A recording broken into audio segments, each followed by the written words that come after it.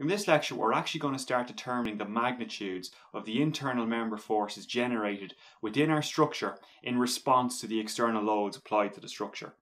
The best way to do this is to jump straight into an example. The first method we'll consider is called the joint resolution method. Consider this simple pin jointed structure, subject to the horizontal 10 kN load at joint C. The first step when analysing any pin jointed structure is to determine the reaction forces.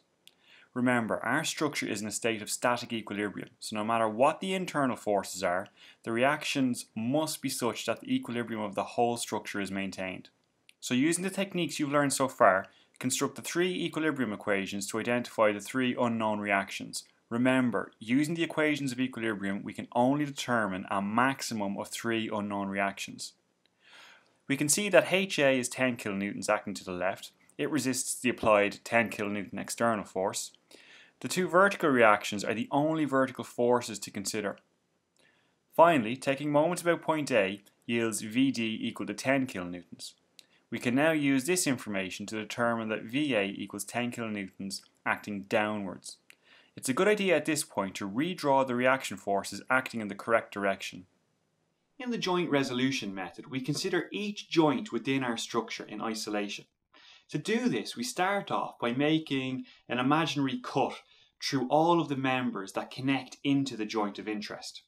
Now, when making this cut through these members, what we're doing is essentially revealing the internal member forces inside each member we cut through.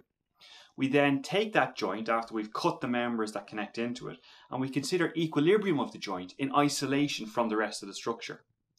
Now the important thing to note here is for each joint, we only have two equations of equilibrium that we can use. The sum of the forces in the x or horizontal direction and the sum of the forces in the y or vertical direction. Our moment equilibrium equation is no help to us here because all of the forces that we're considering when we're looking at this joint all pass through the joint and so they're all concurrent. And basically, if there are no lever arms to consider, then there's no moments to consider. Now, taking a look at our structure, think which joints we could start with and which joints we couldn't. Well, we can't start with joints B or D because there are three members entering those joints and therefore three unknowns. Remember, we can only solve each joint for two unknowns or a maximum of two unknowns. We could start with joints A or C because there's only two members entering joints A or C and therefore two unknowns. So our two equilibrium equations, our force equilibrium equations, will be sufficient to solve for those unknowns at those joints. So, isolating joint C first, cutting through the horizontal member reveals its internal force.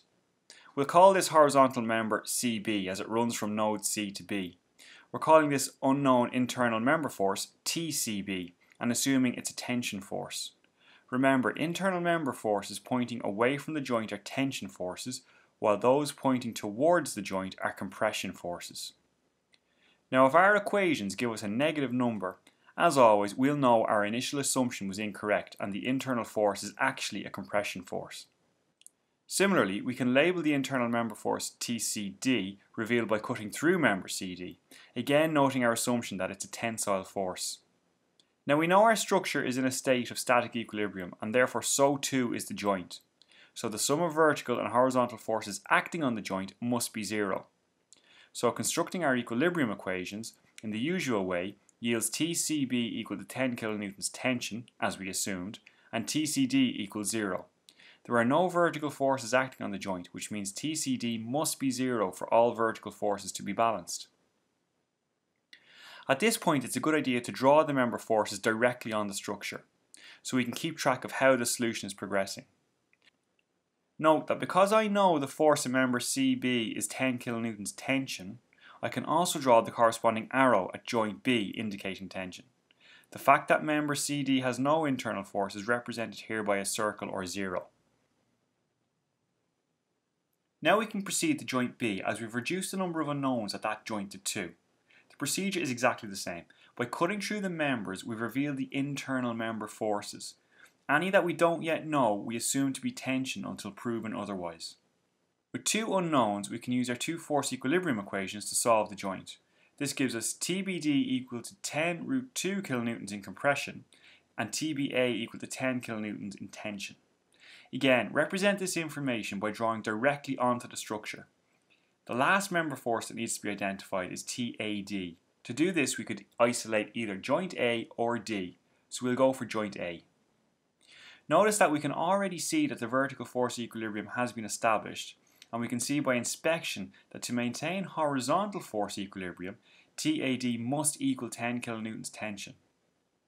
And with that, we've solved for all internal member forces within our structure. In identifying these forces, we've identified how the 10 kilonewtons external force is transmitted through the truss frame and down to the supports. So, to summarise, the first step is to calculate the reaction forces using our three equations of equilibrium.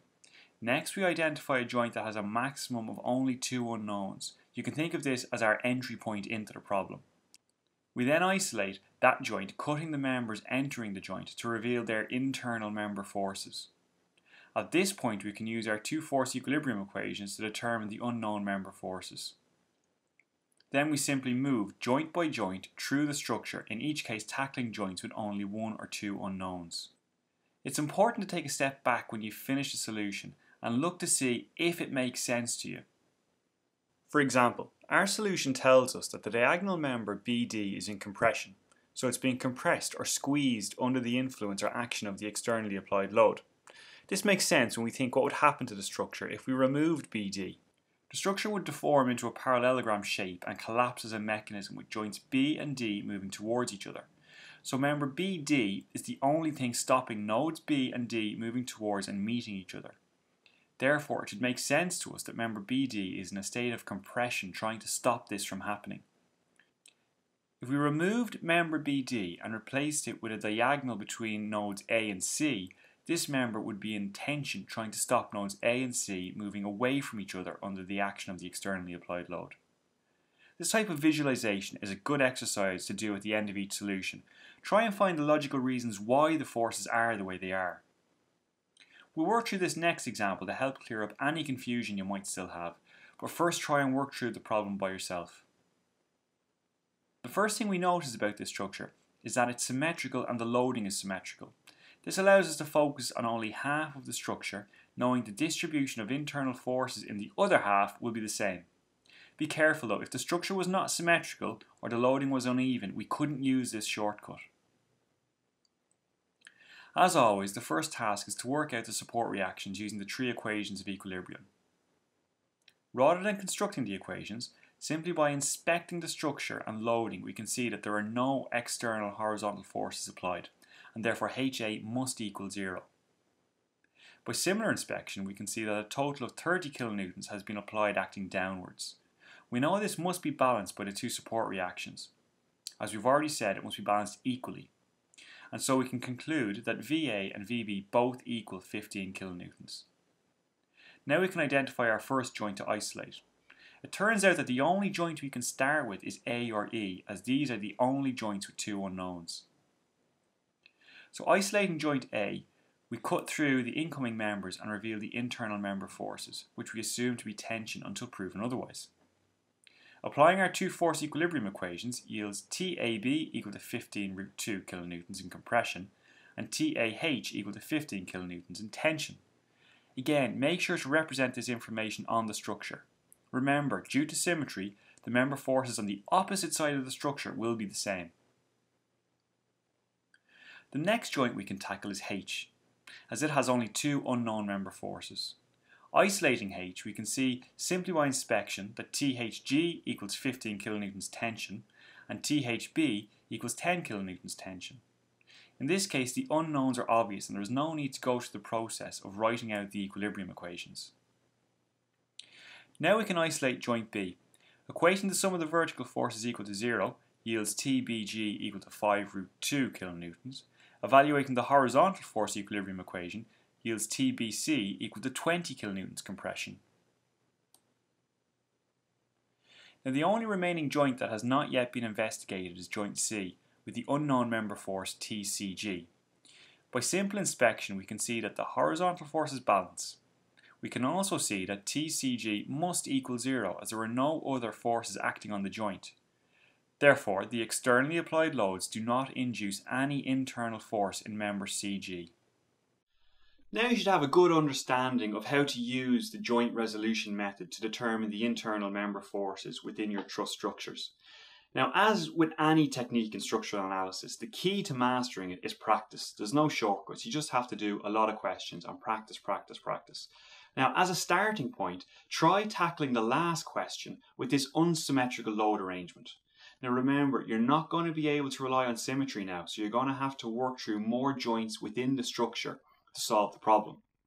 You can download the worked solution to this question in the supplementary material for this lecture. Also make sure you work through the examples at the end of this section.